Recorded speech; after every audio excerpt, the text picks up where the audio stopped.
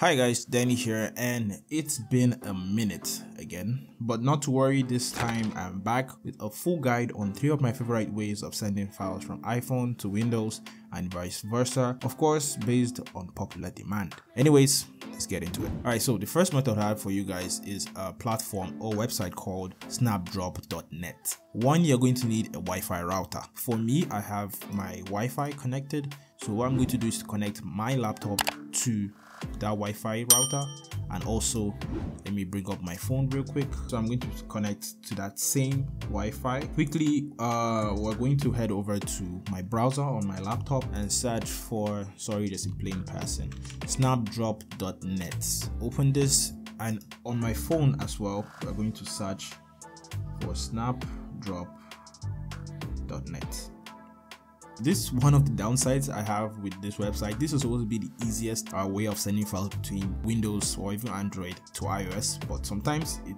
glitches and it doesn't really always work. Most times I find it to work when I restart or like you can see you just refresh the page and it shows automatically. Now you can see that it's showing both the iOS device and my laptop with like weird looking names. So now how easy is it? For my case, I think it's from your iPhone to your PC. So what you have to do is just click PC sign or the PC symbol icon. Wherever your file is, just select where it is. Let's see, photos. Let me send, uh, let me send, let me just send this. Yeah, then click add. It's going to prepare and it's going to send okay so the speed also relies on your internet strength. Not really it doesn't really take up data but just the strength of the wi-fi itself that's what matters. This video file is like a couple mb 16 mb not really that big but as you can see it took some time. Also if you're trying to send from your windows to your iphone same process.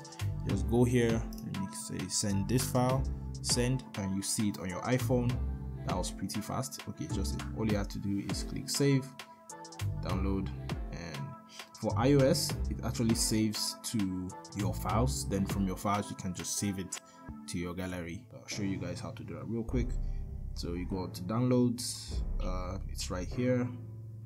Then you can just click share and then say save video and it goes straight to your gallery so that's how you use snapdrop uh snapdrop.net i'll leave a link in the description so you guys see. All right overall i'll give this a solid 7 out of 10 for ease of use. It's actually very easy to use. Click the video on your screen to see the second method where i'll be going in depth on how to use my favorite method itunes. Also one bonus software recommendation.